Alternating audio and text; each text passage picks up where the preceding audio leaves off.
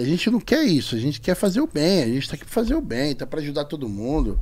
Olha o cabeludo chegando aí também. Você entendeu? A gente quer fazer todo mundo ficar bem, meu. Entendeu? Eu não tô nem aí, eu quero todo mundo ficar bem, cara. Ó, quanto menos pessoas reclamando no mundo, menos dor vai ter, sabe? Menos preocupação. Porque a energia de uma pessoa que reclama é tão pesada, cara. É tão pesada, sabe? Tão ruim. Que acaba com o nosso dia, cara. O menos é mais na minha. Sabe? Tem uma coisa que eu falo comigo que é assim: o pouco para quem não tem nada é muito, sabe? Uhum. Tipo assim, tem cara que não tem luz própria, sabe? Aí o cara, como não tem luz própria, ele quer ofuscar a luz do amigo. Tomar não vai tomar, mas quer ofuscar, certo? Mesma coisa isso, tipo, no seu caso.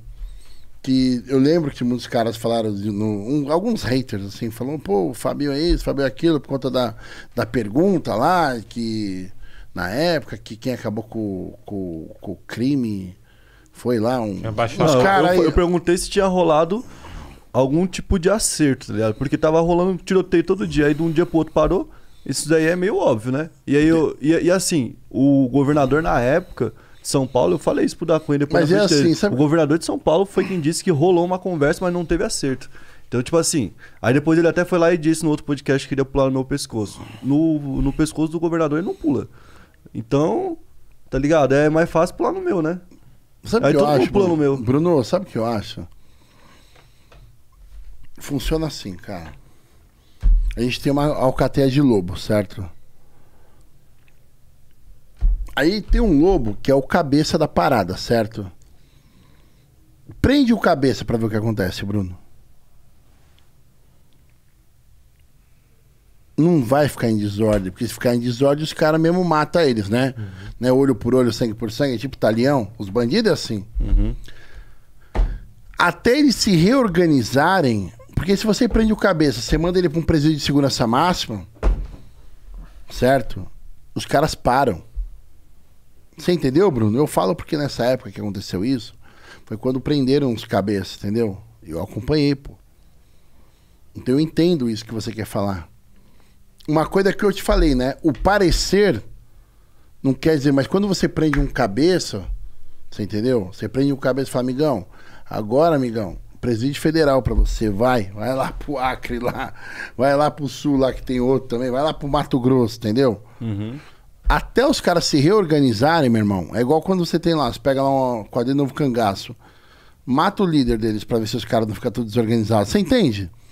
Todo crime tem uma cabeça intelectual.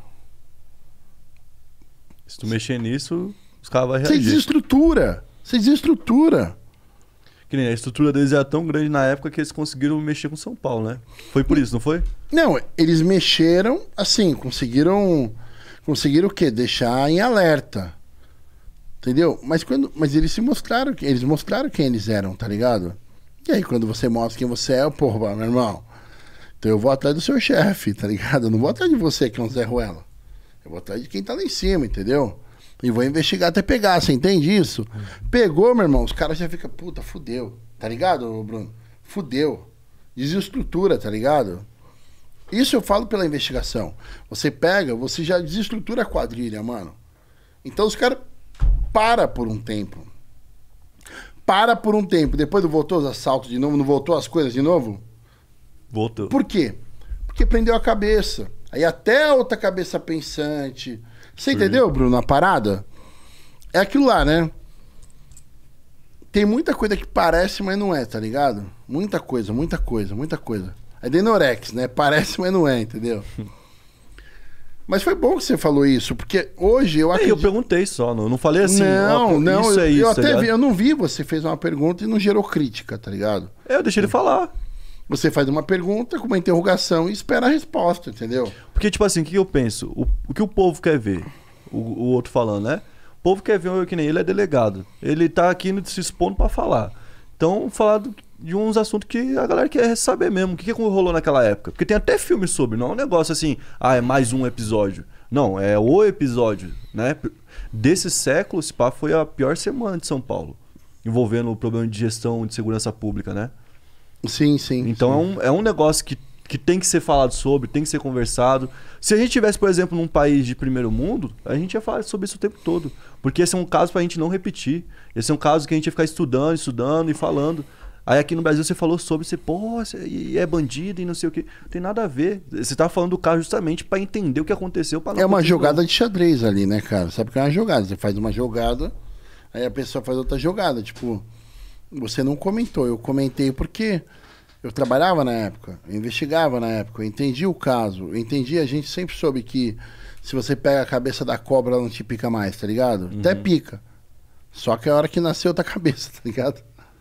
Quando você corta uma cabeça, acabou. Lá na época é a transferência dos, dos É, chefes, né? você entendeu? A transferência dos chefes, cara.